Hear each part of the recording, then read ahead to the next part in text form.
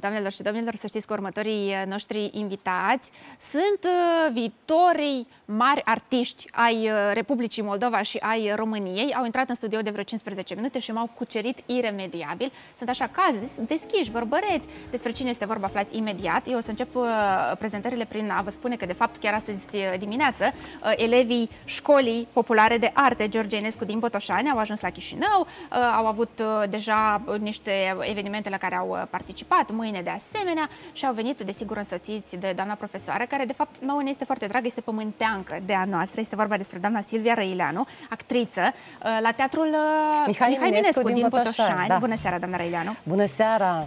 Uh, și îl salut pe domnul Liviu Andronic, care este directorul Școlii Populare de Arte George Enescu din Botoșani. Bună seara, domnule Andronic! Să rămână, bună seara! Mă bucur că sunt la dumneavoastră și cred că mai mai urmează... O, o, o, un corolar mai frumos al zilei de astăzi ah. nu putea să încheie decât aici, la la televiziunea noastră. Da, la Moldova 1. La Moldova 1, sigur. Și acum viitoarele vedete, viitorii artiști ai României și ai Republicii Moldova. Este vorba despre doar câțiva, câțiva dintre, uh, școli, uh, dintre elevii uh, școlii de arte populare din Botoșani. O să încep prezentările din, din partea asta. Rareș Prisacariu, bună Rareș. A, Rareș, ia te rog microfonul, așa. Bună seara! Bună seara!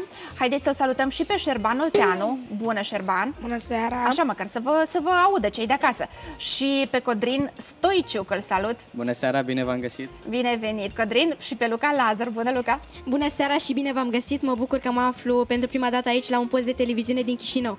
Bravo! Și pe Teodora Rusu, salut! Bună, Bună Teo. seara! Mulțumesc pentru invitație și mă bucur să mă aflu aici. M-ați cucerit, să știți. Sunteți, sunteți încă mici, rare și tu ești cel mai mic, cred, de aici, așa Șapte. Șapte anișori? Da, dar din trupă nu sunt cel mai mic. Nu ești cel mai mic din trupă, am înțeles. Dar dintre colegii de aici, da. colegi care sunt prezenți aici... Ești cel mai mic. Da.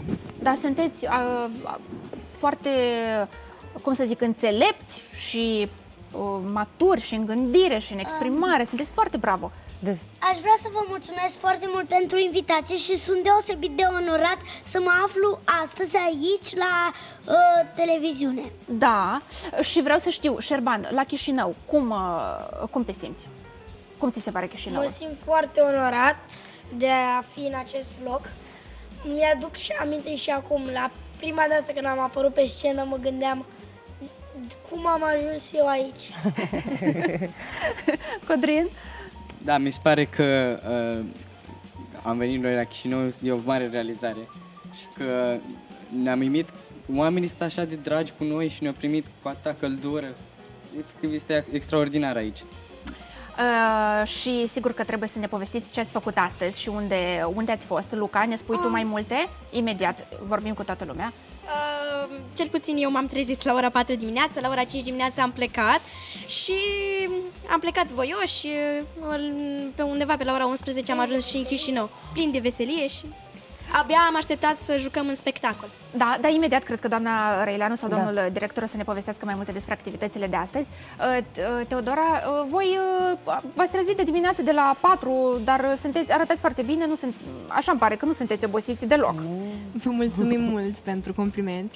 Încercăm și noi să rezistăm și nu putem să ne arătăm chiar cum ne simțim, dar uh, încercăm să rămânem pozitivi și să ne ajutăm unul pe altul, rămânând într-o stare bună. Deci deja aveți uh, stare, cum să zic, gândire de artist, nu-i așa, doamna învățat că adevărați artiști nu-și arată niciodată oboseala. Cât și uh, aș vrea acum, da. domnule Andronic, să ne povestiți mai multe despre programul pe care l-ați avut astăzi. E ok, copii? Domnul Andronic are aici microfon, nu are nevoie de microfonul de mână. Are să încearcă să da, mă păi ajute, nu, pentru că sunt și, responsabili. Și noi, și eu, și Silvia îi ajutăm pe ei. Uh, astăzi, despre reprezentația de astăzi de teatru o să vorbească cine este cel mai în măsură, da. Silvia, fără doar ce poate. Eu să vreau să apreciez un lucru. Am reușit astăzi uh, un tur de forță nemaipomenit, pentru că a, după ce am ajuns imediat, am uh, fost primiți la primăria municipiului Chișinău, Uh, o primire foarte bună. Uh, imediat am revenit la ei au revenit la școala de arte. Eu cu încă un coleg de-al meu de la Târgu Mureș, managerul școlii de arte și a centrului de la Târgu Mureș, ne-am întâlnit cu Silvia Zagoreanu de la Centru uh, de Creație, Centrul Național de Creație, cu care mai târziu, împreună, am fost și la domnul ministru Sergiu Prodan, care, spre surprinderea noastră, am, eu am întârziat la reprezentația propriilor noștri artiști, pentru că ne-a ținut domnul ministru o oră. Adică, adică pus la cale foarte niște... interesant, foarte interesant și uh, turul ăsta de forță pe care spuneam că într-o singură zi să face atâtea lucruri, iată se termină atât de fericit la Moldova cu noi. Uh, e mare bucurie că ați reușit să ajungeți la noi și ați rezistat după o zi da. așa de plină. Doamna Răileanu, spuneți Noi venim despre... direct de la spectacol. Da. Noi am avut un spectacol, al, a doua reprezentație, la Școala de Arte Valeriu Poliacov.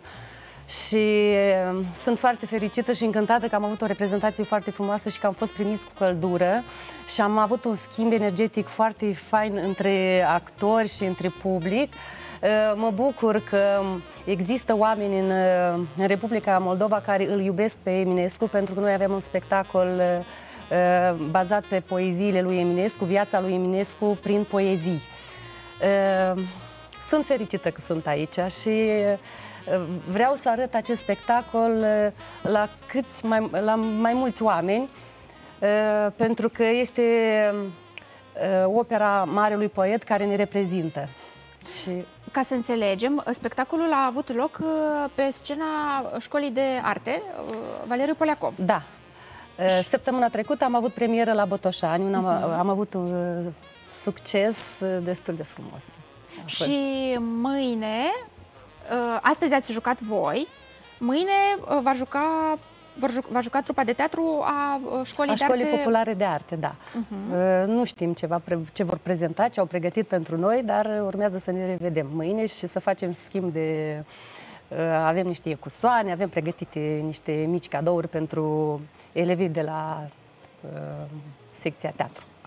La... Să știți că, de fapt, eu cred că voi știți că ați observat, uh, Moldova 1 a avut o echipă de filmare la evenimentul de astăzi, am luat de acolo imagini și săptămâna viitoare o să vadă și telespectatorii noștri mai exact uh, ce ați făcut astăzi acolo și cum a fost uh, reprezentația.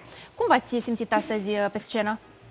Uh, eu m-am simțit foarte bine uh, pentru că de câte ori intru, uh, urc pe o scenă, eu, eu mă simt atât de bine pentru că uh, mă simt actor, cum, cum sunt ceilalți, cum, adică pot să fiu și eu un actor, adică eu trăiesc totul ca un vis.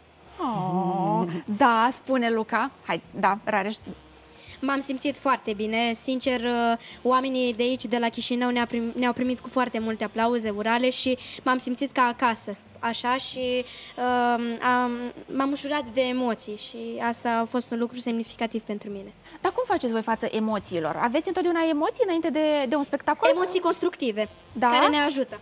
Imediat. Da, uh, Teodora, spunem și tu. Uh, consider că emoțiile sunt un lucru bun, care ne ajută. Eu, uh, dacă nu simt emoțiile înainte de un spectacol, am impresia că nu va ieși bine. Uh-huh. Dar în momentul în care urci pe scenă, cumva scap de acele emoții și totul se transformă într-o bucurie de a vedea publicul, de a vedea lumea care se uită la tine, care te admiră, care mai târziu te laudă.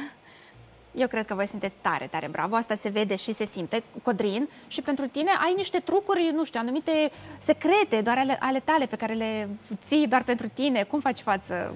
Secretul meu a fost să mă implic în cât mai multe activități, tocmai pentru asta, ca să nu am emoții și să mi le pot controla.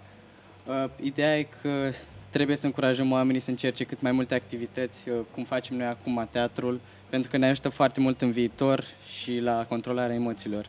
Bravo! Uh, Șerban, și tu?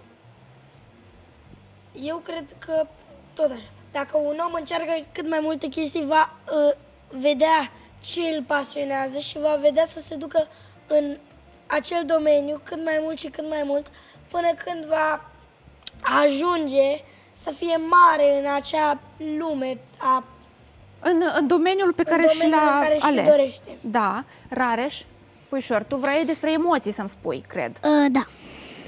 Vreau să vă spun că eu nu neapărat am foarte mari emoții, dar pot să spun că am și eu, dar când mă urc pe scenă nu mai simt atât de multe emoții și uh, pe emoțiile eu, eu le simt când vine vorba de emoții, eu simt mereu emoțiile, dar câteodată nu, Păi ce nu militor le am cred.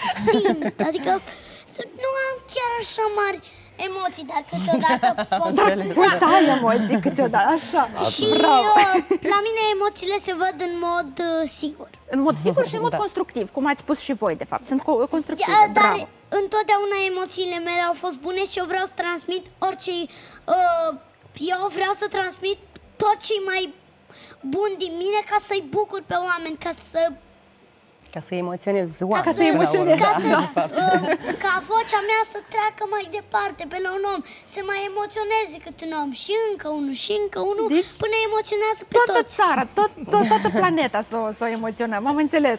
Domnule, da, Rareș. Aș vrea să vă spun că Eminescu și cu Grigore Vieru ne unesc pe toți și, uh, cum am spus și Luca, eu mă simt ca acasă aici pentru că atât la Bătășan cât și la Chișinău, noi uh, simțim uh, românește la fel. Bravo, frumos.